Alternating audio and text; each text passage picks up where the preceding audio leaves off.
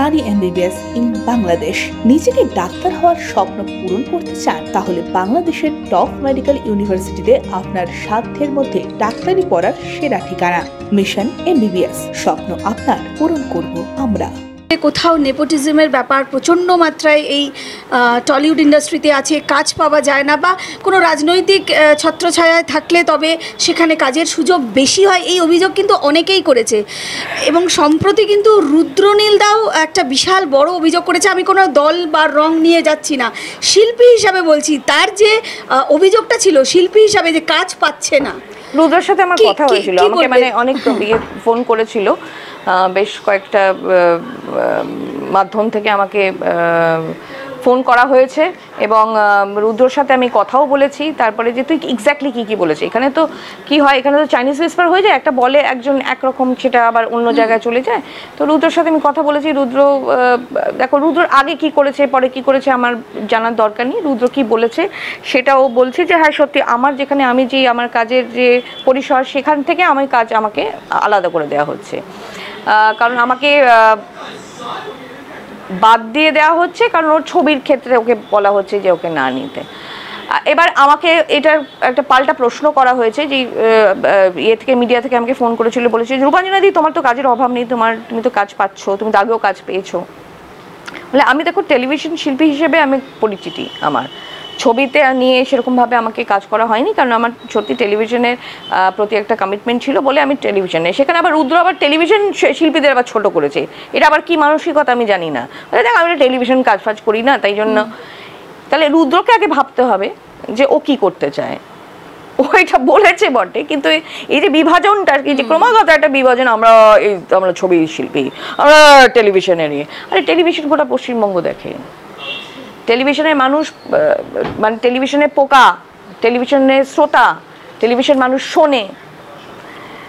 সেই জায়গা থেকে রুদ্রর কিছু কিছু কথার সাথে আমি একদমই আমার আমার আমার সরি আমি মানতে পারি না ওর কোনো কথা। ওর ঘন ঘন দল বদলানো আর ঘন ঘন একে অপরকে গালাগালি দেওয়াটাও আমি মানতে পারি না। সেখানে মানে আমার খুব মনে হয় যে প্রচণ্ড একটা ওকে তো বলাই হয় সুবিধাবাদী তো সবাই জনসমক্ষে সবাই বলে দিয়েছে সুবিধাবাদী। এটা আমি জানি না। আমার রুদ্রকে অনেকদিন আগে থেকে আমি দেখেছি রুদ্রকে আমি চেঞ্জ হতেও দেখেছি রুদ্রকে আমি আহ, রুদ্রনীল ঘোষ আহ, হওয়ার আগে রুদ্রকে দেখেছিলাম। আমি রাজের রাজকেও দেখেছি। তো সুতরাং তাদের নিজের ব্যক্তিগত জীবনে তারা কি করছে আমার জানার দরকার নেই। তারা কীভাবে নিজেদের আগামী পথ দেখে যদি এইভাবেই তারা চলে মনে করে যে হ্যাঁ ঠিক আছে, এইটাই এই যুগটাকেই চালিয়ে দিয়ে যাবে, তাহলে I very sorry to say there will be rebels অনেক রেবেল তৈরি হয়ে গেছে যারা আপনাদের পন্থা মানে না। প্রসঙ্গটা হচ্ছে কাজ না পাওয়া। ইন্ডাস্ট্রিতে সেটা ছোট পর্দা হোক, বড় পর্দা হোক, কোনো রাজনীতির ছত্রছায়া যদি না থাকা কাজ পেতে খুব সমস্যা হয়। এই অভিযোগটা, এটা কি মানে কোথাও তুমিও ফিল করো বা এটাকে সমর্থন করছ যে সত্যি এরকম একটা নেপোটিজমের পরিবেশ টলিউডে আছে? নেপোটিজম তো আমি বলব যে নেপোটিজম হচ্ছে যে আমার ছেলে কাজ পেল। পরের ইয়ে জেনারেশন কাজগুলো, এইটা। তো সেটা তো যে কোনো জায়গায়, যে কোনো ইন্ডাস্ট্রি তার বাবা যদি কাজ করে, তার সন্তানের প্রতি একটা জায়গা তৈরি হয়ে যায়। কারণ বাবা পরিশ্রম করেছে, সেটা নেপোটিজম আলাদা জিনিস। সে তার জন্য জমি তৈরি করল, সে তার মধ্যে যদি ট্যালেন্ট থাকে, সে করে নেবে। হ্যাঁ তো সেটা আলাদা প্রসঙ্গ।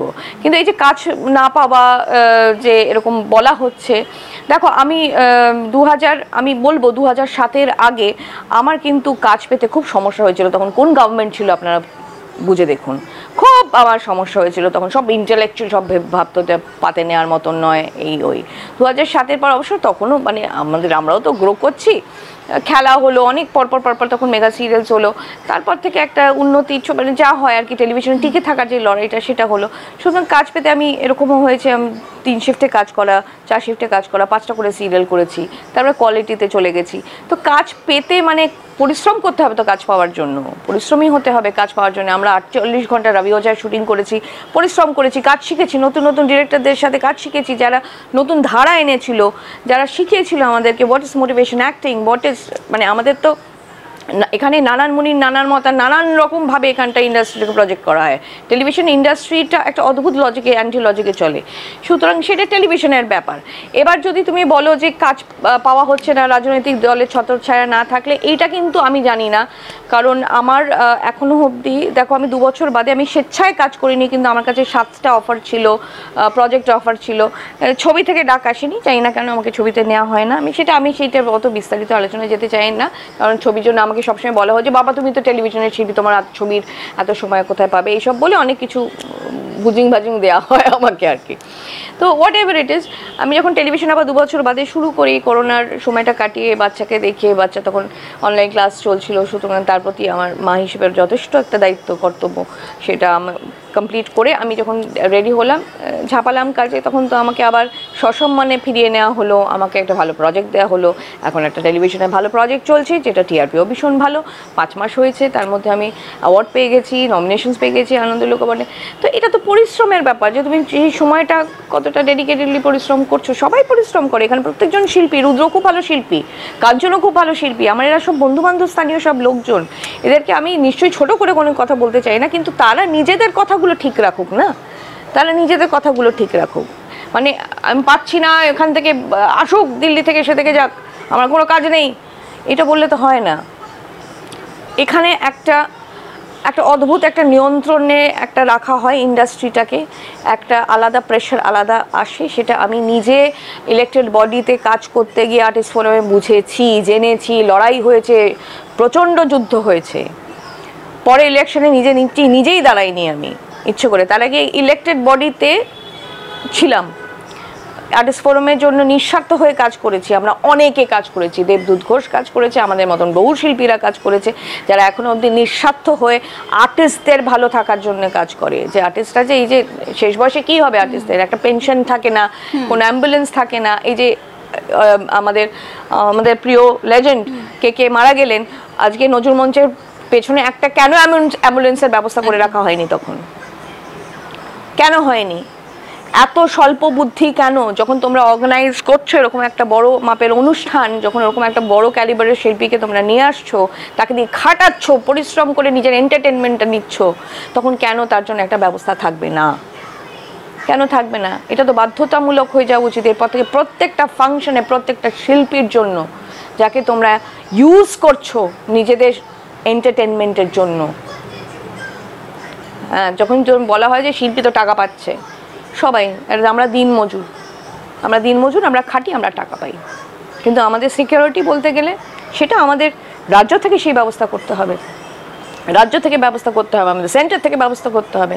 শিল্পীরা ফ্যানলা বলে হ্যাঁ বাবা, ছাড়ো। ওদেরকে দিয়ে। আর যখন দরকার পড়লে হ্যাঁ বাবা শিল্পীকে নিয়ে এসো ওকে সামনে কিন্তু লাগবে প্রথম সারিতে। কিন্তু রাজ্য সরকার আমরা দেখেছি পরিবর্তন হওয়ার পর রাজ্য সরকার কিন্তু শিল্পীদের নিয়ে অনেক কিছু পরিকল্পনা আমরা দেখেছি বিভিন্ন রকম অনুষ্ঠান করেছেন বিভিন্ন রকম স্টেজে নানা রকম প্রোগ্রামে শিল্পীদেরকে যথেষ্ট সম্মান দিয়ে তাদের একটা জায়গা তৈরি করে দিয়েছে। আমি একটা কথা বলব বামফ্রন্ট আমলে দেখেছিলাম যে শিল্পীদের এক শ্রেণির শিল্পীদেরকে নিয়ে খুব মাতামাতি করা হতো। এটা হয়েছে। তারপরে যখন মমতা ব্যানার্জি সরকার এলেন আমি মমতা ব্যানার্জির গভর্নমেন্ট আমি বলব আমি টিএমসি বলব না টিএমসি এটা বড় বিশাল বড় একটা ব্যাপার। তো অল ইন্ডিয়া তৃণমূল কংগ্রেস আরও পরের ব্যাপার। যখন এলেন তখন কিন্তু তিনি শিল্পীদেরকে মানে যারা যারা মনে করো কাজ করেছে সেই কমিউনিটিটাকে রেকগনাইজ করার চেষ্টা করেছিলেন এটা ঘটনা। তিনি করেছিলেন। কিন্তু দু হাজার চোদ্দ অবধি করলেন। পরের যে ঠিক আছে আমার এরকম শিল্পী প্রত্যেক বছরই অ্যাওয়ার্ডস পাই সবই হয়েছে। আমি নিজে টেলি একাডেমির মেম্বার ছিলাম, আমি দেখেছি আমার চোখের সামনে কি কি হয়েছে। পীযুষদার মৃত্যু দেখেছি, তারপরে একটা অ্যামাউন্ট তাকে দিয়ে দেওয়া হলো, তার পরিবারকে, এটাও দেখেছি। সবই দেখেছি, আমার সবই চোখের সামনে দেখা।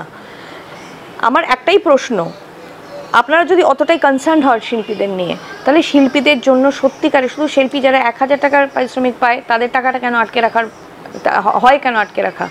তাদেরকে কেন নিজের সোল খুইয়ে দশ বার করে চক্কর কাটতে হয় প্রডিউসারের এ? যদি হয়, সবাইকে একই জায়গায় এনে ওয়াকিং আওয়ার্স ঠিক করুন। এটা একমাত্র আমাদের সরকার করতে পারবে, তাছাড়া কেউ করতে পারবে না। আর কার কাছে যাব? আমাদের ইন্ডাস্ট্রিকে যদি বাঁচাতে হয়, আমাদের সরকারই বাঁচাতে পারবে। এই যে রানিং সরকার, পশ্চিমবঙ্গের সরকার যার মাথা যার নেত্রী মমতা শ্রী শ্রীমতী মমতা বন্দ্যোপাধ্যায় তিনিই পারবেন। কিন্তু চোদ্দ অবধি তো তিনি করেছেন তুমি নিজেই করেছেন তারপরে? কিছু একটা গন্ডগোল হয়েছে কিছু তাকে তার পাশে না অনেক মানুষ আছে যারা তাকে ভুল বোঝায় তাকে নিয়ন্ত্রণ করে তাকে অনেক কিছুভাবে বোঝায় আর কি এ ফালতু এ এসব হয়। এসব হয় নিজের কাছের লোক ঢুকে যাবে এ এ, দরকার নিয়ে কে এসব হয়। এটা এই যে এই যে সংকীর্ণতা এই যে রাঘব এই যে রূপা- রাঘবদার কথায় হ্যাঁ। না আমি বলছি যে রাঘবদার কথা মেনশন করা হয়েছে রূপঙ্করদার ইয়েতে। রাঘবদার নিজে তো বলেনি ইমন তো নিজে বলেনি অনুপম নিজে অনুপমরা নিজে বলেনি। এটা তাদের মুখে কথাটা চাপিয়ে দেওয়া হলো।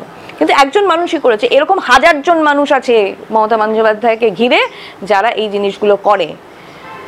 সুতরাং মমতা বন্দ্যোপাধ্যায়ের কাছে কি পৌঁছয়? আমার মনে হয় যে ওই যে কাক কান নিয়ে চলে গেল কাকে পেছনে ছুটলো ওইটাই পৌঁছয়। পুরোটা পৌঁছয় না। এখানে শিল্পীদের অভাব চার মাসের মধ্যে পারিশ্রমিক দেওয়া হয় না এটাও হয়। কিন্তু সেই তাদেরকে কেন সাপোর্ট করা হয়? একজন বদ লোককে দিনের পর দিন কেন মমতা বন্দ্যোপাধ্যায়ের সঙ্গে রাখেন? আমি বুক বাজিয়ে বলতে পারি অরিন্দম শীলকে। মানে তাহলে মাননীয়ার পাশে এমন এমন মানুষগুলো কেন থাকবে? যারা ভালো মানুষ নন, কেন থাকবে? যারা এক্সপ্লয়েট করতে এক্সপ্লয়েট করেছে, নজির আছে, তার এক্সাম্পল আছে, তার প্রমাণ আছে। একজনের সম্পর্কে আমি বলেছি, আমি আমার সাথে মিসবিহেভ করেছিল, তার প্রমাণ আছে যে তিনি আরেকজন মহিলা শিল্পী, সে আমার সমসাময়িক শিল্পী, তার সাথে মিসবিহেভ করেছিল। এটা প্রমাণ আছে, তার প্রমাণ থাকা সত্ত্বেও তাকে কেন পাশে রাখা হয়? তাকে কেন কাজ দেওয়া হয়? এরকম মানুষকে ছেটে কেন ফেলে দেওয়া হয় না ইন্ডাস্ট্রি থেকে? ইন্ডাস্ট্রি গ্রোথ হবে ইন্ডাস্ট্রি ভালো হবে, নতুন ডিরেক্টরস আসবে না?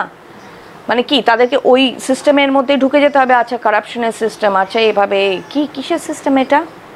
এটা কিসের সিস্টেম একটা নোংরা সিস্টেমের মধ্যে চলছে, কেন চলবে?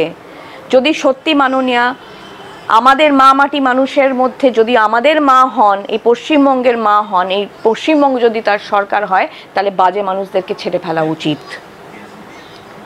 তার পাশে ভালো মানুষদের রাখা উচিত। আমি এরম বলছি না যে আমাকে নিন। আমি আপনার ভক্ত ছিলাম, প্রচণ্ড ভক্ত ছিলাম। কিন্তু আমি চাই আমাদের দেশেরও উন্নয়ন হোক, আমাদের রাজ্যেরও উন্নয়ন হোক। সারাক্ষণ কাদা ছোড়াছুড়ি, একের ওপরকে ব্লেম গেন এই পেট্রোল পণ্যের দাম হ্যাঁ বেড়েছে। জানি আমি আমিও গাড়িটা চালাই আমার গাড়িতে তেল ভরাতে হয় আমার কষ্ট হচ্ছে তার জন্য আমি নরেন্দ্র মোদী সরকারকেও বলব। কিন্তু কেন্দ্র তো দাম কমিয়ে দিয়েছে। কিন্তু সরকারের জিএসটি কে নেবে? দায়টা কে নেবে? অনেক মানুষ অনেক কিছুই জানে না তাই জন্যই আমরা হয়তো সোশ্যাল মিডিয়াতে অর্ধেক ট্রোল করে একে অপরকে খাওয়া খাওয়ি করি। এবং এখানেও একটা প্রসঙ্গে যাব যেহেতু পেট্রোল পণ্য তুললে তুমি এই যে একশো দিনের কাজের টাকা পাওয়া যাচ্ছে না বলেও মুখ্যমন্ত্রী অভিযোগ করছে যে আমাদের বাংলা সবসময় বঞ্চিত হচ্ছে কেন্দ্রের কাছ থেকে। সাধারণ মানুষ বঞ্চিত হচ্ছে, টাকা পাচ্ছে না। জিএসটি বাবদ কিন্তু রাজ্যকে টাকা দিয়েছে এবং সেটাও আমরা দেখেছি। আসলে কি প্রবলেমটা কি হয়েছে চৌত্রিশ বছর নিয়ে একটা প্রবলেম আছে। চৌত্রিশ বছরে যে ডেফিসিটে যে আমরা একটা কঙ্কাল হয়ে গেছি, সেই ডেফিসিটটাকে তো নিজেদের জায়গাতে পূরণ করতে হবে।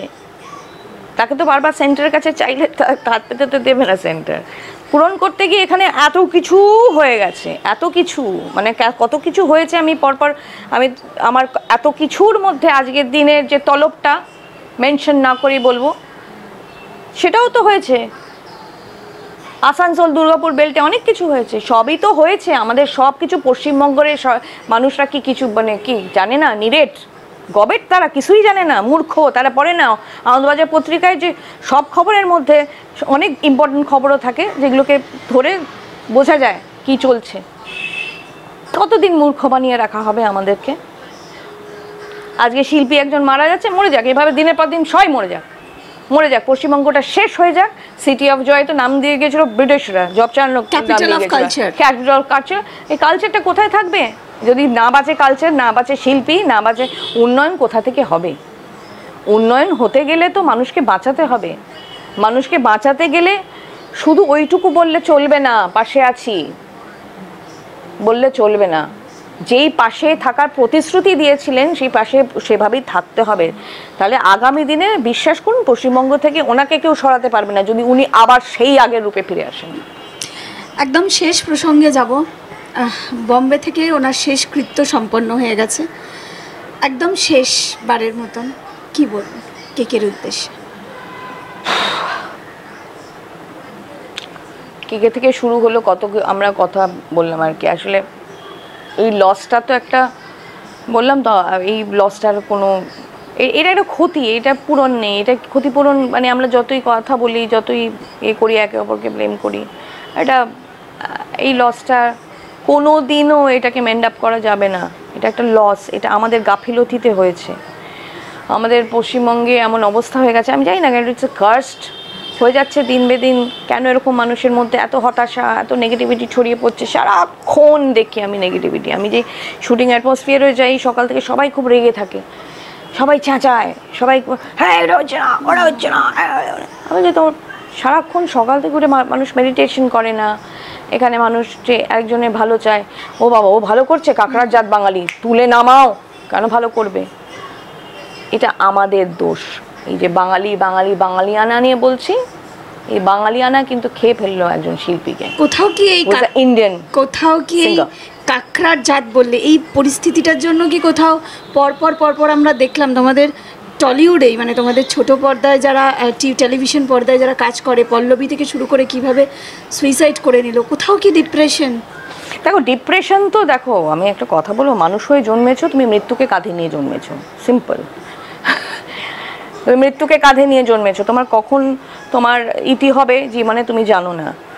কিন্তু এই যে এই জার্নিটা লাইফের এটা অনেক বড় জার্নি কার কখন কীভাবে, আমি এত বড় বড় কথা বলার মতন কোনো বিশাল কোনো ফিলসফিক্যাল কোনো ইয়ে নই, গুরু নই, যেই কথাগুলো বলব। কিন্তু আমার মনে হয়, যতটুকু আমি পড়াশুনো করেছি, প্রত্যেকটা মানুষের মধ্যে সাইকোলজিক্যাল ডিসঅর্ডার আছে নিউরোসিস আছে ক্যারেক্টার ডিসঅর্ডার আছে। সেটা তাদের পরিস্থিতি, তাদের ছেলেবেলা, ছোটোবেলাতে তারা কি পরিবেশে মানুষ হয়েছে সব কিছুটাই কিন্তু নিয়ে তাদের একটা জীবন তৈরি হয়। ন মাস বয়স থেকে তৈরি হয়ে যায় তাদের ক্যারেক্টারাইজেশন জীবনে। পল্লবীর ক্ষেত্রে কি হয়েছে আমি বলতে পারব না। আমাদের ইন্ডাস্ট্রির মধ্যে প্রচণ্ড চাকচিক্য গ্ল্যামার একটা আছে একটা অদ্ভুত একটা মায়ার এই মায়ানগরী বম্বে হলে তো আর বম্বে গেলে মানুষ কি কি করে তো এই যে সবাই এত ড্রাগসের এতে কেন ধরা পড়ে বা কিছু। কারণ এতটাই ওভার স্ট্রেস একটা ফ্রিলান্সারের স্ট্রেস সেটার জন্য। এবার পল্লবীর ক্ষেত্রে আমি যেগুলো যেগুলো পড়েছি আমার খুব খারাপ লাগছে যে পল্লবীর আগে দিশা বলে একটি মেয়ে ছিল যে আমাদের তুমি আসবে বলে আমি একটা সিরিয়াল করতাম স্টারেরই তাতে কিন্তু ও আত্মহত্যা করেছিল। ওরও, ওর ছেলেবেলাটা ঘাঁটা ছিল, ওর নিজস্ব কোনো বন্ধু ছিল না। আমি, আমরা বন্ধু বান্ধবদের মধ্যে বোঝার চেষ্টা করতাম। ওরিয়েন্টেশনে একটুখানি ওর একটা আলাদা ওরিয়েন্টেশন ছিল। যেহেতু তিনশো সাতাত্তর বৈধ হয়ে গেছে, সুতরাং আমি বলতে কোনো বাধা নেই। তো যে যা নিজের জীবনসঙ্গী বাঁচতেই পারে আজকালকার দিনে, সেটা নিয়ে কোনো ইয়ে নেই। এটা পরিবার থেকে বুঝতে হবে। সেরকমই পল্লবীর যদি বন্ধু অভিভাবকরা যদি সত্যি বন্ধু হতো, যেরকম আমি কেকের সম্পর্কেই বলছি, যদি সত্যি শুভাকাঙ্ক্ষী হতো, যদি বন্ধু হতো, তাহলে সেই সময়টাকে আটকে আটকে দেওয়া যেত। আটকে দেওয়া যেত। ও মন খুলে কথা বলার হয়তো লোক পায়নি। ও এমন পরিস্থিতির মধ্যে চলে গেছে। আজকে একটা ছেলে ও তার সাথে জীবনের সাথে জড়িত। তার তো আমরা দেখছি যে তাকে নিয়ে তো কাটাছেড়া করা হচ্ছে। ইয়েতে নানান রকম সে উনিশ হাজার টাকা চাকরি পায়, সে কেন অডি গাড়ি চালাতে পারে? এবার নিজের লোভটাকে নিজেকে কন্ট্রোল করতে হবে ভাই। তুমি কতটা তুমি পাটা ছড়াবে, তোমার চাদরটা কতটুকু, সেটা তোমাকে জানতে হবে। এসেই যে all that glamour all that glitters is gold বলে লাফিয়ে পড়লে হবে না ইটস নট গোল্ড ওটাকে বুঝতে হবে। ভালো খারাপের মধ্যে পার্থক্যটা বুঝতে হবে। আমাদেরও সময় লেগেছে, আমাদের এক্সপিরিয়েন্সের মধ্যে দিয়ে আমরা গেছি, আমাদেরও বুঝতে সময় লেগেছে ইন্ডাস্ট্রিটা কীভাবে অপারেট করে বুঝতে সময় লেগেছে। সেটা বুঝতে হবে, জানতে হবে, ভালো বন্ধু সঙ্গ দরকার ভালো। ভালো লোকজন ইয়ে তেমন হলে দরকার নেই। তোমার তোমার বন্ধু যদি ওই জাস্ট ফটো সেলফি তোলার বন্ধু, আর ইনস্টাতে পোস্ট করলাম এর বন্ধু দরকার নেই। ভালো মন খুলে কথা বলার বন্ধু দরকার। এই জন্য আমাদের ছেলেবেলার বন্ধুদের কাছেই আমরা ফল ব্যাক করি। ইয়ারো দোস্তি, বড়ি হি হাসি হ্যাঁ এই জন্যই আমরা বলি। একদমই। শেষ করব সেই ইয়ারো দোস্তি এবং আলবিদা। একটু মানে আমরা তো সবাই কেউ হয়তো সিঙ্গার নয় কিন্তু আমরা সবাই কেকের গান গাই প্রত্যেকটা সময় তুমি গুনগুন আমার সাথে করি। তাহলে পলটা গাও আমার সব থেকে প্রিয় গান পল हम रहे या ना रहे याद आएंगे ये पल पल ये है प्यार के पल चल आ मेरे संग चल। चल। चल चल सोचे क्या? छोटी सी है ज़िंदगी।